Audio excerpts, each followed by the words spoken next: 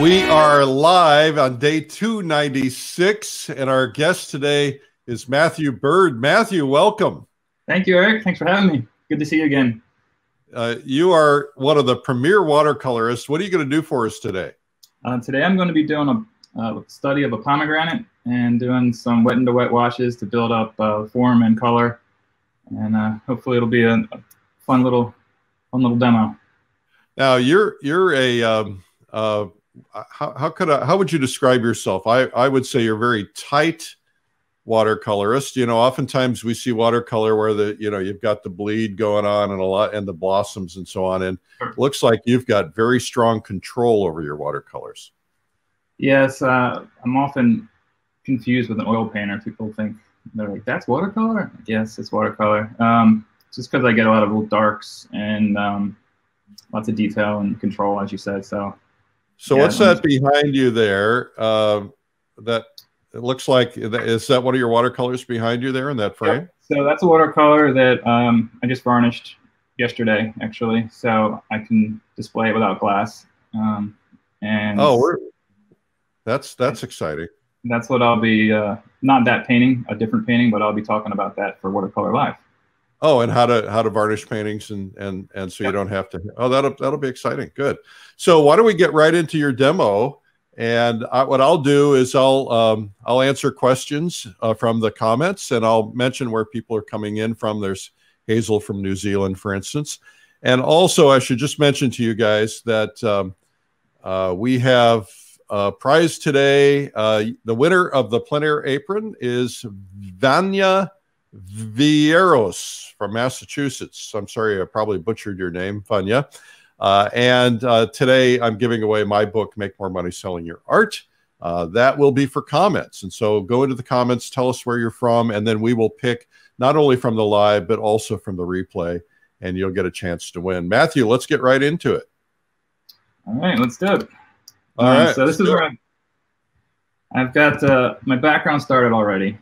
So um, this is all dry. You don't have to hear me blowing a hair dryer, and I can just get into the good stuff here. Um, Do you before, want to just give us a brief overview of what you did with your background? Yep. Um, so I have masked out my fruit here uh, with masking fluid, which is a product that you can paint on. It's it's like a liquid masking tape almost. Um,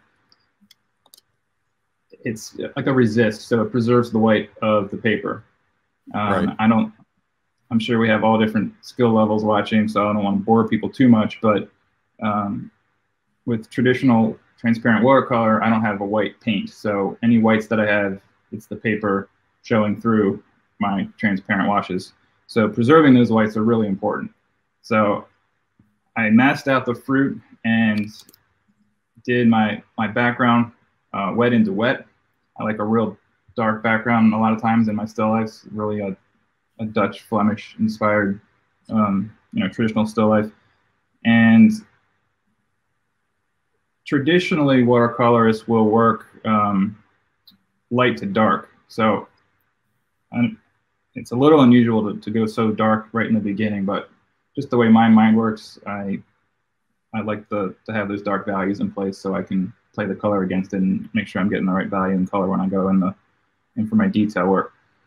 And I work wet into wet. So I, I've got blue um, over here behind these pomegranates. And let me bring up my reference photo just so you can see what we're going to be looking at. So I it really accentuated the blue because I just want that that contrast with the red. I think that'll make a nice um, yeah. Nice composition. Um, the other thing, so after I, I did the background, I, I pulled the mask up and exposed the, the paper. Um, one of the things that I wanted to, to, point out that's a little different from what um, you might have seen before is I'm working on a paper that is on an ACM panel. So it's two sheets of aluminum, very light, very thin, what kind? What is that? A is that something you pick up in the stores? What's it called? Yep, Raymar makes this. It's um, okay. it's traditional Fabriano watercolor paper um, on aluminum composite material. Oh, that's very that's a new thing, and it's pretty cool. It is a new thing. I helped them develop it, and I really like working on it because the, the paper doesn't warp or buckle. You know, traditionally you have to stretch watercolor paper and then either staple it or tape it down, and this just kind of cuts out that step. Yeah, well, you can also and, put it in a frame much easier too. Exactly. Yep. I varnish them and then pop them right into a frame and don't have to worry about cool. um, glass and cutting a mat and such. So I'm going to put out some uh, some color here. Normally my palette looks like this, just a a mess of grays, but I cleaned up this side so that that was very nice of you. I would be a pro professional. Try to be a professional artist. All right. So I'm playing around with some different uh, cadmiums here and uh, pyrrole.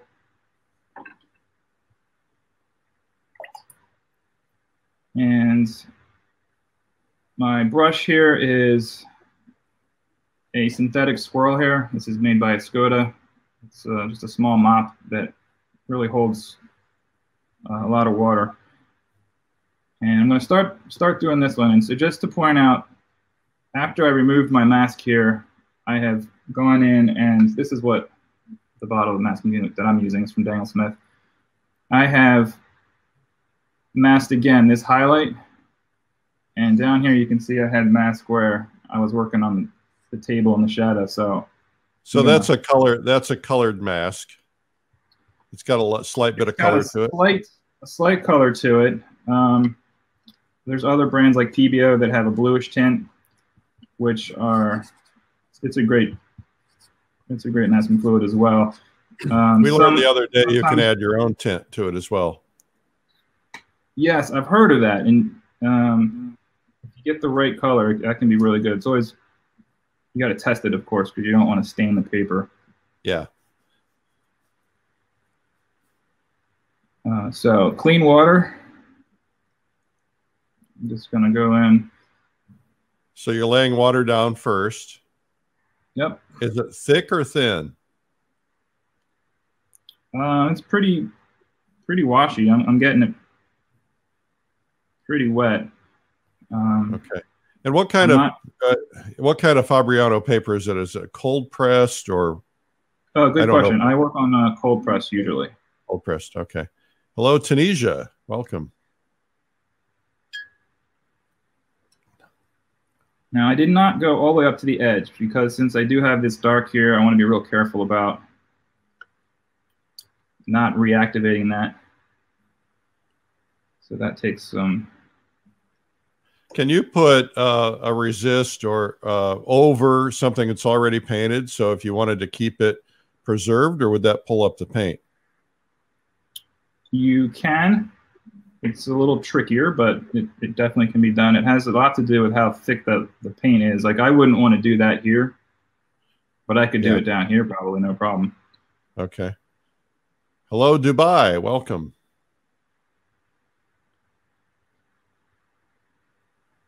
All right. So right now I'm mixing up a carmine, which is a PR176 pigment which I think will be a nice dark on this shadowy side.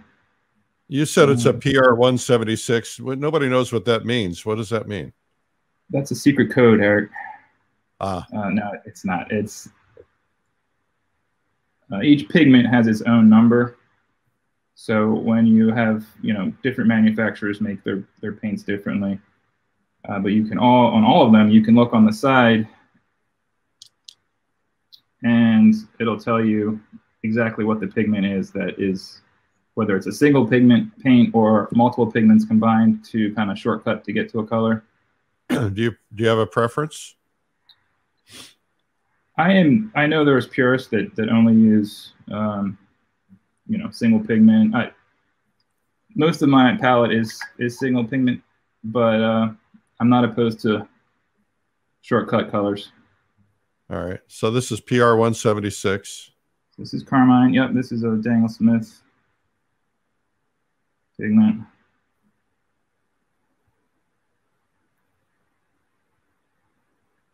Wow, you you have a steady hand. Yeah, you want to be careful, like I said, but um, you know, it just comes with practice.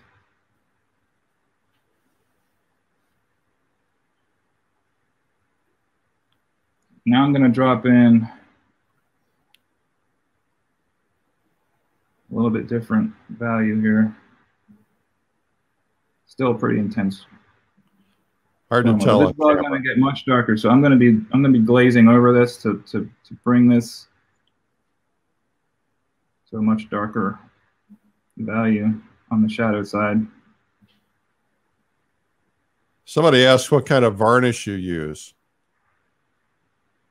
Um, I use golden golden products, um, spray archival gloss to to seal the paint onto the surface, and then uh, there's various um, varnishes you can put on top of that to get a different sheen if you like.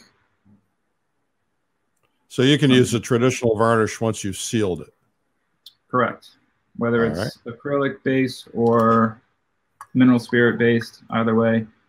And then you can, you know, it's all subjective as far as what sort of, uh, if you want a satin look or a high gloss or a matte, just kind of have to play around with it and see what you like. All right. So I'm adding in some CAD light to warm this up on this side. I think I got a little couple flecks here dark that I don't want. So I'm gonna scrub that a little bit, get a stiffer synthetic brush and work this a little bit so I don't, don't want that there. Blot it with a paper towel. Yeah. Hello, Ireland.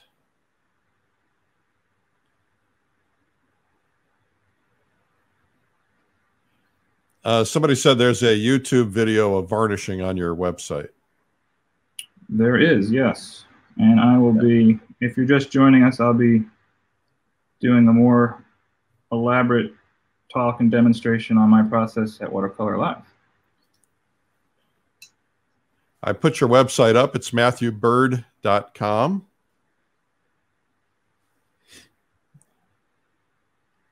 So you're going to do an extensive still life and uh, varnishing and, and whole nine yards on Watercolor Live. Cool. Yes, I varnish a full sheet painting, 30 by 22. So one of my, one of the big ones. Now you are uh, an officer with one of the watercolor associations. Do you want to tell us about that? Uh, National Watercolor Society in California. Um, they are uh, currently getting ready to do our member show. So the entries are open for that on the website. It's a great organization and a great way to network and yeah. Well, you, you and I met. Where, where? to the uh, the online environment these days. So yeah, well, we had a meeting. I'm trying to remember where it was. Was it in San Francisco or was it yes, the year before? It was, yeah. San Francisco. Okay, so we we talked about this vision for creating a you know a watercolor conference and and uh, you were very supportive and encouraging and and now involved. So I, I want to thank you. Uh, this wouldn't have happened without you. Oh well, I it's it's a passion of mine, and, and I there's so many people out there that are working in watercolor. Um, kind of anything I can do to contribute to that and, and raise the medium, raise, raise awareness. You know, I, I don't know if you know this yet, but so far, Watercolor Live is the largest uh, online virtual conference we've done. It has exceeded all of our others. I think we're, I haven't seen today's numbers, but we're almost at 1,600 people. Yeah, that, that doesn't surprise me at all. I mean, domestically or internationally, it's it's a huge. Yeah, we have people from all over the world, all yeah. over the world signed up. Really big in in, in Asia and India. Yeah, some great watercolors there. Somebody from India was taking my workshop, and she was having to get up at like 5 a.m. God bless her. Yeah. Well, we have people watching this right now in places like uh, Egypt and Saudi Arabia. It's in the middle, you know, very, very different time zones. Um, so it's really terrific. One of the great things of the internet, bringing us all together. You guys make sure you tell us where you're watching from. Uh, in the comments, you have a chance to win my book, Make More Money Selling Your Art. Hey, Belize. Welcome, Belize.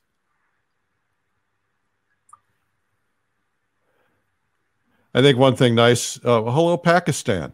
Uh, one thing nice about this conference, Watercolor Live, is that you can you can find a lot of different approaches and styles um, in watercolor. I, I before I created this, I didn't realize how many different approaches there were. Yeah, it's really it's really exploded. Um, the uh, kind of traditional idea of what watercolor should look like, quote unquote, um, has kind of been blown to smithereens. So many people are working and doing just incredible things with with water media. Yep. Hey, Norway, Scotland, Hawaii. Thank you. Great Britain. So just to go back to the um, the masking that I was talking about, which you can still see, this highlight is preserved. That that white of the paper is so important with transparent because we don't have white paint. And one of the ways that I've I've tried to describe watercolor to people that aren't quite familiar with how it works is using a sculpture analogy because it's really a subtractive medium where we're, we're removing the white and, and adding dark. You can't go back, relatively speaking, you can't go back to that white once it's gone. So it's it's like sculpting in marble. You know, if you're if you're sculpting a bust and you uh, chisel off too much of the nose, it's not really going back on. Yeah, yeah, that's right. Whereas with oil or acrylic, if that, that's more like sculpting with clay, you can add. It's additive. You have opaque and white paint, so if you you can just wipe out and keep going. So it's a little more forgiving, perhaps. So what you're doing right now is a build up layer over layer. Is that correct? C correct. I haven't really let this dry, so it's it's um, not exactly glazing wet over dry, but I am definitely building up and uh, really keeping in mind the the warm side of this pomegranate, how it, it's going to come around and get cooler. And one of the one of the things I tell my students is knowing when to to hold up and and let it let it dry because it can be easy to overwork your paper, overwork the surface and too much yeah, water. Just, yeah, well, it starts the the paper fiber can start to, you know, just get tired and like you gotta let it dry and before you you muddy things up too much. All right. And that comes Hello. with experience. Hello, Germany, Philippines, Nova Scotia. Man, you're drawing them in, Matthew. Well, that's wonderful. Welcome, Sudan. everyone. Welcome, Sudan. That's the first for Sudan that I've seen. UK, Peter in UK. What what color will you use to create the dark? asks Anita. Um, you saw just there, I was kind of just pulling from some of the gray slop I have on my palette. But um, ultramarine, French ultramarine will probably be a great uh, great help to push that that dark where I want it to be. So okay. let's let's do that now. Somebody who tuned in late asked, uh, "How did you prevent from bleeding into the background?" And what was your answer on that? You oh, used like to right here? Yeah. So everything was preserved with masking fluid when I did a wet into wet background wash. And the and, background is dry. So once the background is dry, what I'm doing coming in here is just, you know, careful brushwork and control to, to not reactivate it. You can go up to the edge. I mean, I'm not going to go and like just scrub at it because that would that would reactivate the pigment and it would it would start to, to blend, which I do sometimes. It can be nice. Somebody asked, how do you keep it wet all this time?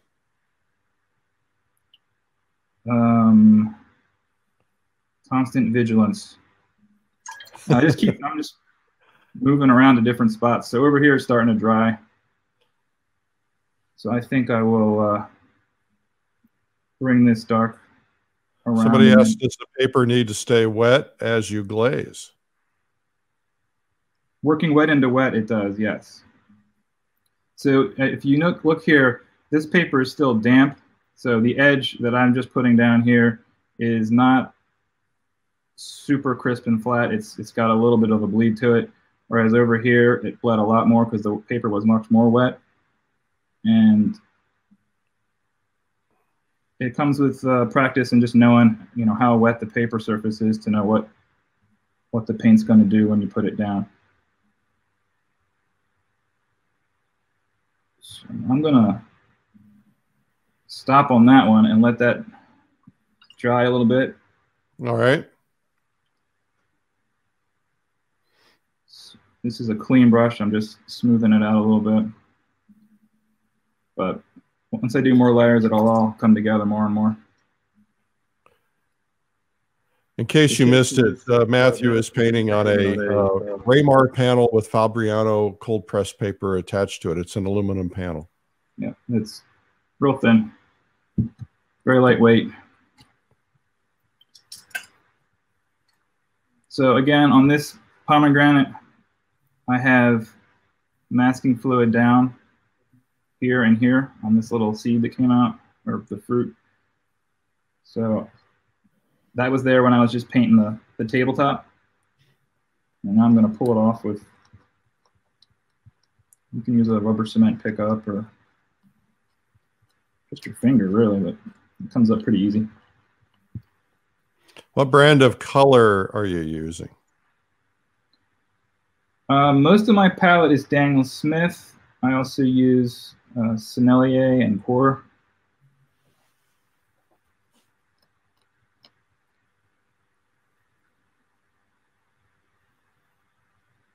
Daniel Smith paints are traditional. Uh, the gum arabic as the pigment binder, which is the traditional binder. Uh, Sennelier uses honey That way you can eat your paint, right? Spread it on your toast. Just don't eat the cads. Don't eat the cads. That's right. The honey paint doesn't dry on in your paint wells the same way gum arabic does, so it reactivates very very quickly with a touch of a brush. Which which deactivates quickly, the honey or the gum arabic? Honey based. Okay. So Sennelier, uh, M. Graham also makes honey-based watercolor. And a little goes a long way. Uh, Judy asked what you used to mount the paper on the substrate. It came mounted. Right. This this came already done, so it just saves me that step. If I and I talk about this at Watercolor Live, if, the, if I paint just on watercolor paper and I finish the painting and then mount it, um, there's a way to do that too. I use a soft gel gloss as an archival way to, to do that. If you guys are planning on coming to Watercolor Live and you haven't signed up yet, you could save 300 bucks if you sign up by the 20th, which I think is, what is that, Sunday? Mm, no, no, no, it's the, uh, it's Wednesday. It's inauguration day.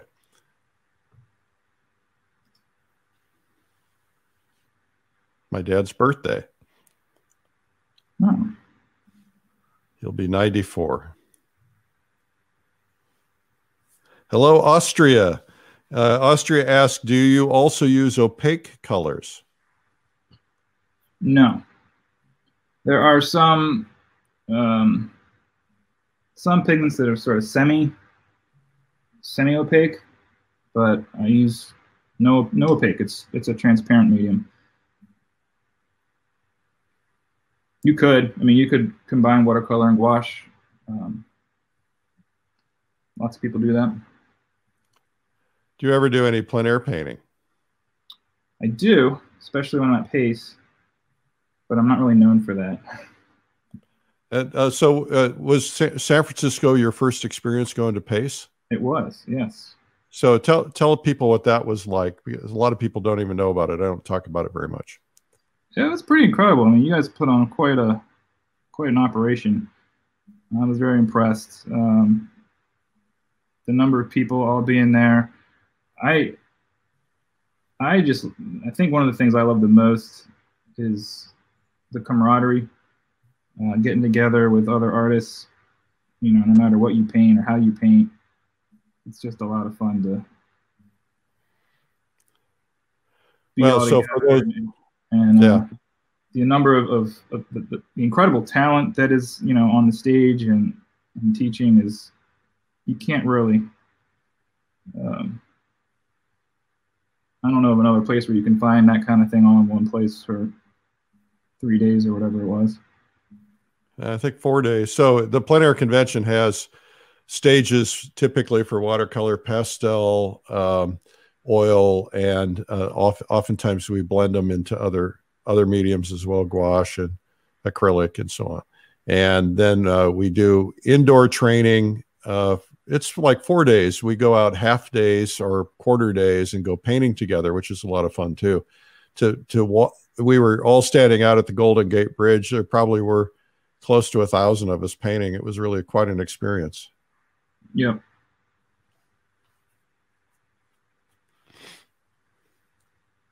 You have a lot of patience, my friend.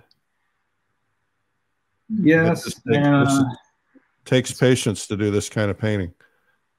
It does. I'm I'm I'm a very slow painter. That's all right. But uh, you don't seem yeah. that slow to me. I'm I'm trying to keep this interesting. but what I'm doing now is um, same thing on this side. I, I just I wet with clear, clean water, and uh, now I'm just dropping in color. So that's pretty important to make sure you keep your water clean. Yes. Yes, I I have. I don't know. It's probably a gallon of water in two different containers. So one I keep clean, and the other is my my rinsing. Somebody told us the other day they use distilled water because it won't develop mold long term. Well, I know I'm a slow painter, but I'm not that slow. I don't think I mean, I don't think we mean mold while you're painting. um, that's that's interesting. I haven't heard that before. I use just tap water. Hello from Pune, India.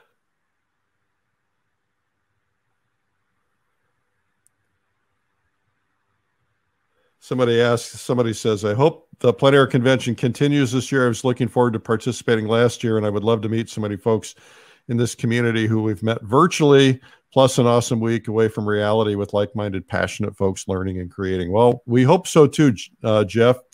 The uh, uh, we just don't know. I mean, we're planning on having it, but uh, we're going to have to kind of wait and see what happens with this virus. It's not till May.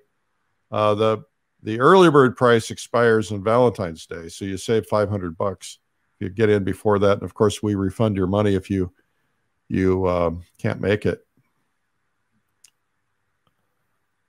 This how long will this session last? We're going to be on till the top of the hour, till five minutes till the top of the hour. Another 30 minutes, 25 minutes. I'll share a, a photo of this, you know, when I finish it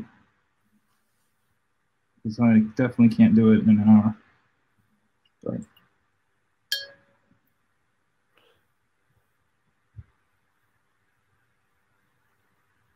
I often go back and forth, jump around a painting while I'm waiting for one area to dry. I'll, I'll jump over to something else.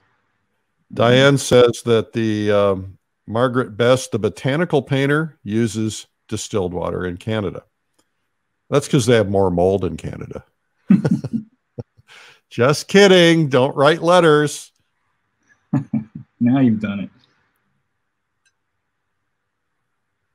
It's it's very easy to offend people. I don't mean to ever. I just see. Can you uh, specify exactly where we can see the finished piece afterwards? Uh, Bertram, it will be Matthew will post it. Uh, if you go back to the replay of this later today, when he finishes it, uh, or whenever he's done with it today, tonight, whatever, he'll post it in here. And because you made comments in here, if he posts it, it'll come up to you um, as you know a comment, so you'll you'll be able to see it.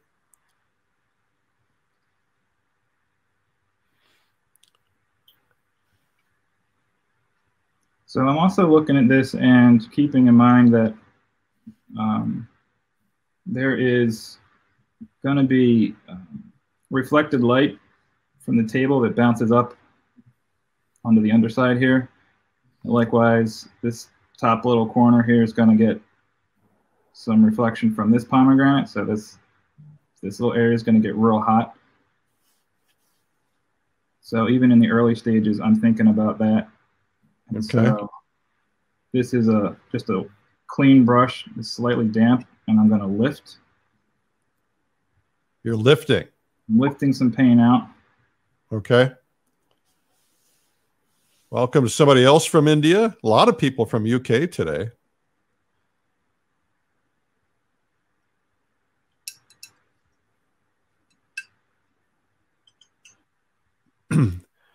if you uh, if you are an Instagrammer, Matthew, what's your Instagram handle?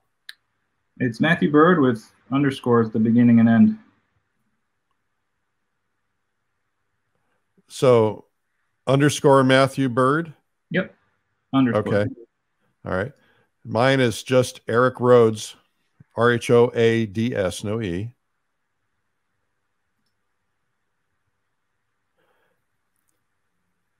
So here you see I've got the foundation laid in here where I've got a real high chroma reflection coming off this pomegranate. And down here, I added in a little bit of cerulean blue to uh, to get that light that's bouncing up off the table on the underside.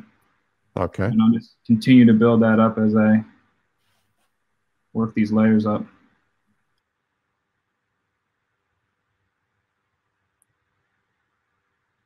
And this one's getting to the point where I need to stop messing with it and let it dry.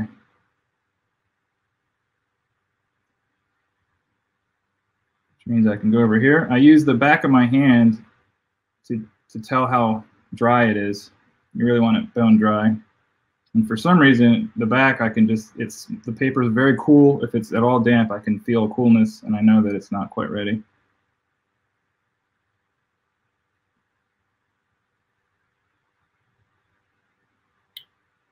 more cad cad yellow light. Oh, and that that's medium actually. Sorry.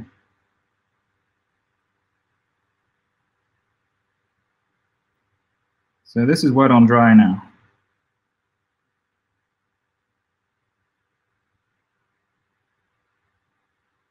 So I can get a little bit of the texture. Having my brush kind of jump and skip around on the surface leaving you know gaps and spaces. And you're painting right over the masking fluid, right? Correct.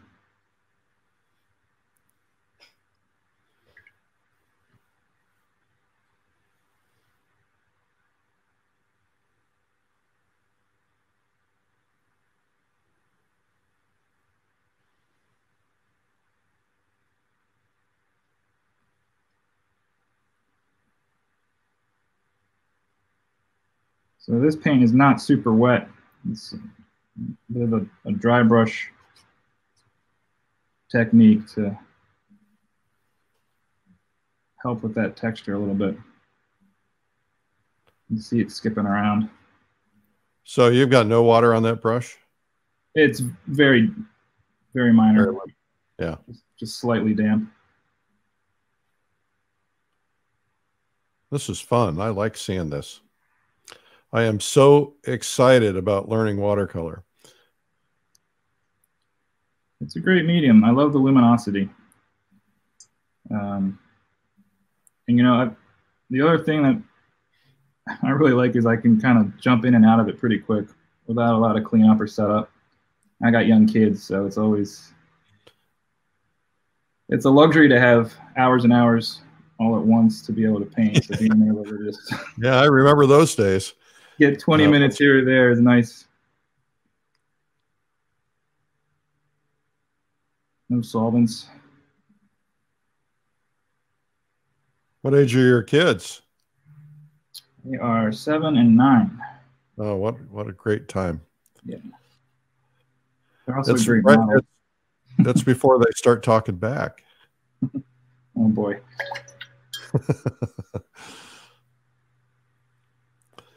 Everybody always told me, uh, you know, it's going to happen. It goes by very fast, and I never believed it. And then my kids graduated high school and went off to college, and it seemed like a blink of an eye.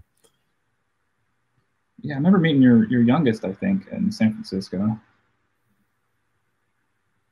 Yes, you met one, one of, my sons. Yeah. yeah.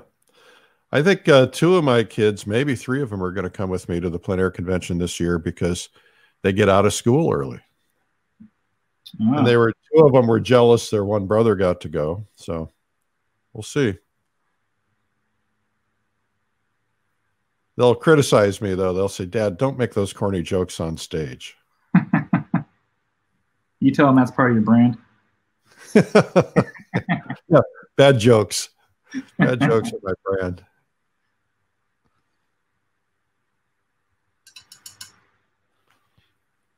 So I just grabbed some uh, neutral tint there to just kind of shortcut this this dark, so I can get keep this moving.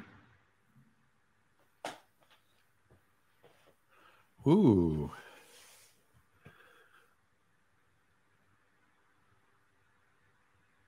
You just got to keep layering and layering to get those darks to get darker, don't you?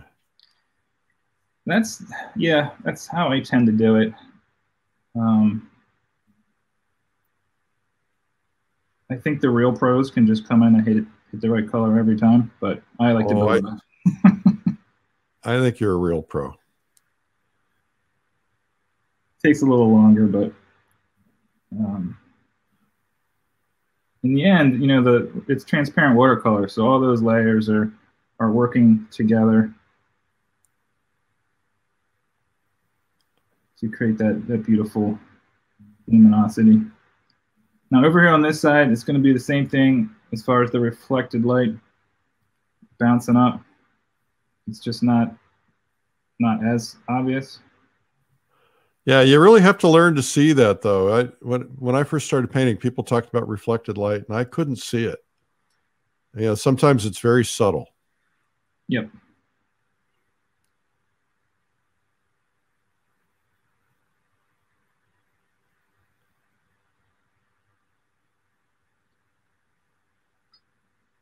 Now I'm looking at my my reference and I'm seeing that this value shift happens really abruptly. It goes from really dark to kind of a mid-value high chroma red orange there. So I want to try to capture that and not have it be too gradual because that'll aid in um, sort of conveying the the different flat, round, bumpy sides of this pomegranate. You know, it's not a perfect sphere. It's got right. It's got some character to. Somebody said, when you post your images, would you please post some close-ups as well? Oh, absolutely. Okay, so Melissa says, tell us more about the use of masking fluid. I've never had success with it. What's the key? Oh boy. I practice. I've got quite the the spiel I go through in my workshops because it it can be a real struggle. So I, I understand um, most of what you're what you're saying. There's there's kind of two different kinds. You have a masking fluid that's basically white, dries white. And then you have some that's tinted, and we mentioned that earlier, or you can tint it yourself. Um, the nice thing about the tint is you can see where you've, you've applied it, but some brands tend to leave a, a faint stain on the paper, which I don't particularly like. So if you're using the white masking fluid, the, you run the risk of not really seeing everything and you think you have everything masked, but you might have missed a spot and you just can't really tell because it's it's white and yeah. not just the paper. So kind of pick your trade-off. Um, you need to make sure your mask is fresh. It definitely ages, and if, if, if you're working with older fluid, it's not going to come off the paper real well. Okay. You want to make sure you don't heat up your, if it's dried on there, you don't really want to use a, a hot hair dryer or, or bake it in the sun or anything because then it'll be hard to get off the paper. Somebody asked if your if your reference weeks and weeks either. Yeah. Somebody thing. asked if your reference is a photo or you is it a live reference? This one's a photo. Okay. Although this would be the kind of thing I could do live. Somebody asked if this is oil painting. No, this is watercolor. If you just tuned in.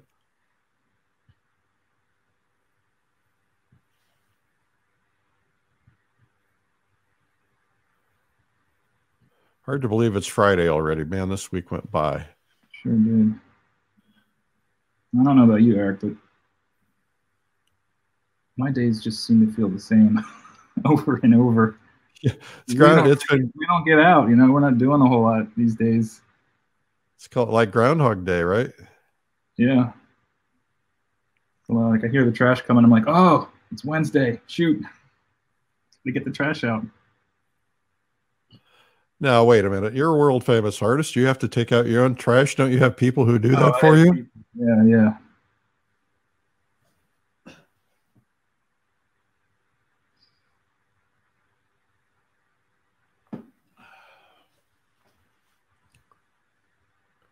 Okay, it froze up for a second there. I was a little concerned. oh, I hope that's not on my end. You're working all right now? Yep, everything's fine now. Uh, guys, uh, day 300 is coming up. Uh, well, this is 296. You can figure it out. If you have a special idea of what you want me to do on day 300, I'm still trying to figure it out. Put it in the comments. Um, we could do something special on day 300. And I've put together a ton of really great prize packages for day 300. Today, you can win uh, by putting something in the comments. You have a chance of winning the uh, Make More Money Selling Your Art book. It's a, a two times Amazon bestseller and uh, really will help you with selling your art if you're trying to figure that out.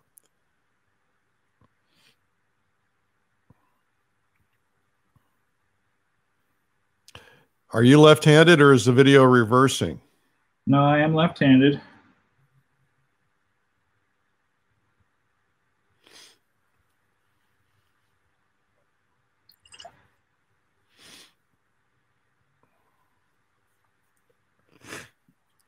So I just threw in some little blotches here.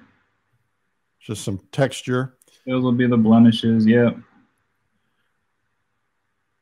There's another person, Iris, tuning in from Deutschland. Ersteinschlich Kernen. So Kernen is Cologne, I believe. Maybe Kern. I'm a little rusty on my German. Been there 40 times. Wow. I was married to a German woman for a long, long time. I would explain it. Good. I have nieces and nephews there.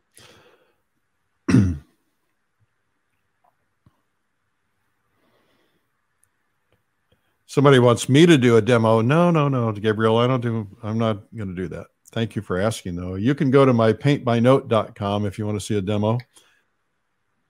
I've seen you paint. You could you could do a demo. Uh yeah, but uh, I want to make this show about everybody else, not about me.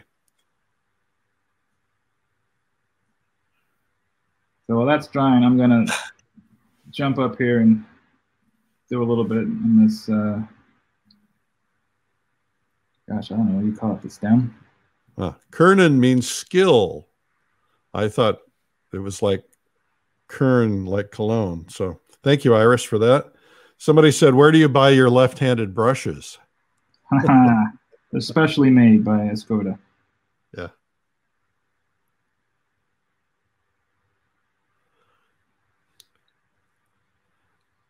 I should mention to you guys, hang around uh, when we before we finish because I have uh, an announcement, something we announced yesterday by email in case you missed it, pretty big, and also uh, tell you how you can win a seven thousand dollar painting. So that's pretty cool.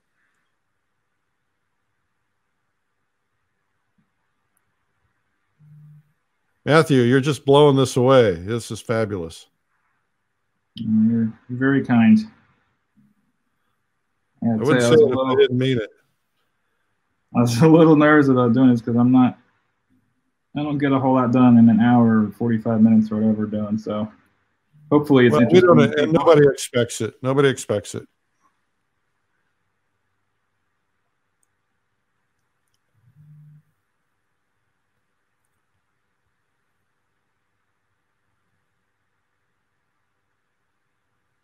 So Beverly asked about varnishing watercolor. Uh, you're going to do that on your watercolor live demo on, on watercolor live. Yep. So uh, that's going to be pretty cool. I think that I think that's a game changer. You know, Raymar putting these panels, uh, these papers on panels, so it gives you a stiff surface to work outdoors or to frame, and then uh, learning how to varnish it. You know, that's one of the big problems I hear about from watercolorists who want to go to plein air shows is they don't want to carry all the glass with them and right. the, and the mats and so on. And this is a, a great way. I'll just show you guys real quickly. Well, um, well, I can. Uh, here is well, I don't have it framed, but show you a couple of pieces of Matthew's work. And uh, but if you look, Matthew, can you put the other camera on real quickly so we can just see yep, uh, one, behind, one behind you? Yeah, so that there's no glass in that, and that that's fabulous, and it really glows. All right, terrific. Okay, get back to work. I'm a slave driver. I got started getting into that because I, I really didn't like the glare of glass, and uh, it's a little unconventional. Some of the peers don't really agree with it.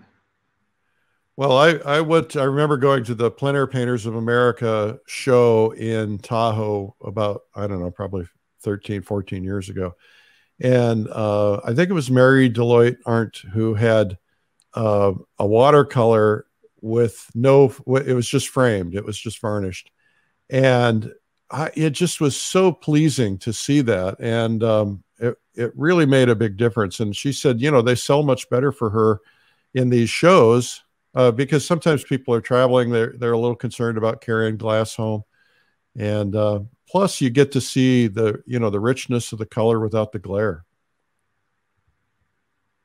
Yes. And those, I don't, I don't know why, but galleries that I've talked to tend to prefer, you know, no glass. Yeah. Um, well, I think this is going to really this this trend is really helping the watercolor world. I mean, there's nothing wrong with framing under glass. I don't want to send that signal at all. No, and I still frame, you know, a lot of my work traditionally as well. Um, but there are there are some dealer biases that occur, and um, so that'll help for some dealers help overcome those biases.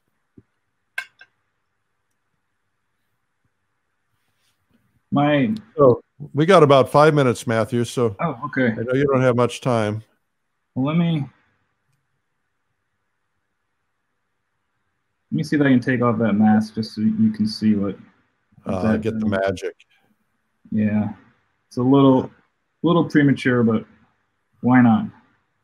We got to live a little. You gotta got to live boldly. Let's see. There it is. Now you're using a, a like a rubber cement eraser. Yep. You know, actually, the best thing to lift up mask is the mask itself. If you have like an old ball of it, it takes to itself really well. So oh, really? there, there's the uh, the gleaming light of the paper.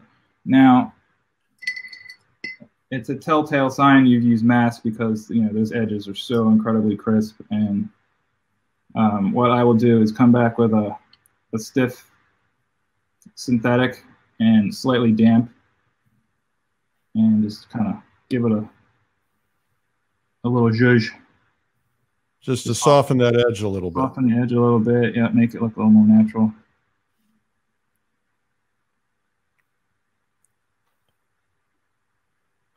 You know, the other thing, uh, Matthew, somebody was talking about, you know, the the glass preserving, keeping the paint from fading.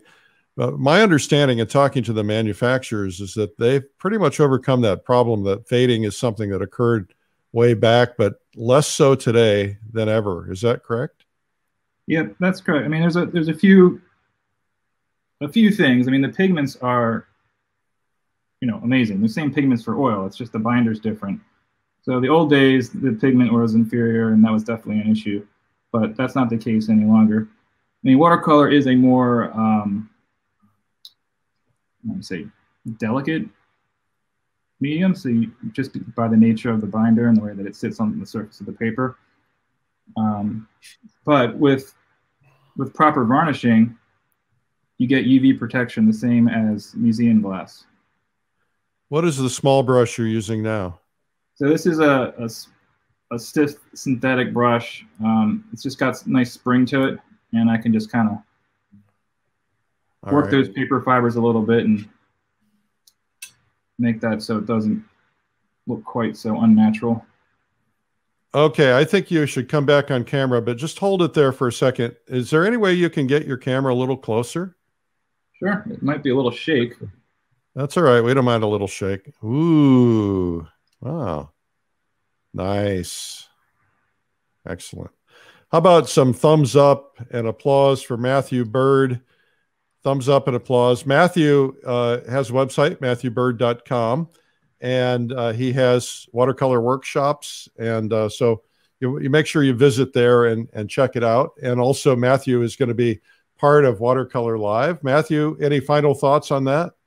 Well, I'm really excited about it. Um, and the numbers you were talking about are, are amazing. So it's going to be great to have everybody there, and I'm happy to share uh, any all my my tricks on varnishing and what I've learned over the years. So it'll be a fun time.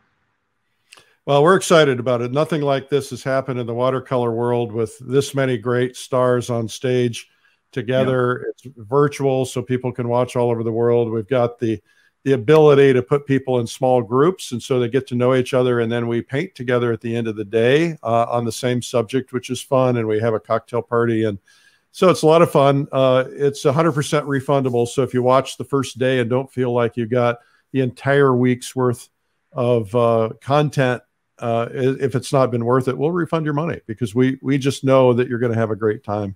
Matthew we're really happy you're going to be a part of it. Thank you for doing that and thank you for being here